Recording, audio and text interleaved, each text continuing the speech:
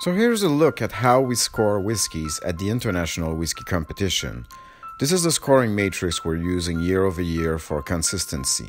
While it might appear complex, it's not. First, we have the sight section where we consider color, clarity, and depth. Most whiskies usually get 4 or 5 points here. We've rarely seen any issues. Second, we move to the nose category where we record the intensity, complexity, and distinctive aromas worth 35 points total. For first, we get to the taste, the most important part involving 40 points, based on palate, balance, body, complexity, flavors, and balance of flavors.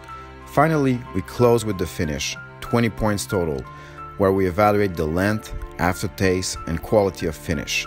Whiskies are tasted by all judges and one at a time for a period of around 6 minutes. It is with those scores that we come up with only 3 medals per category as we're running a very professional competition.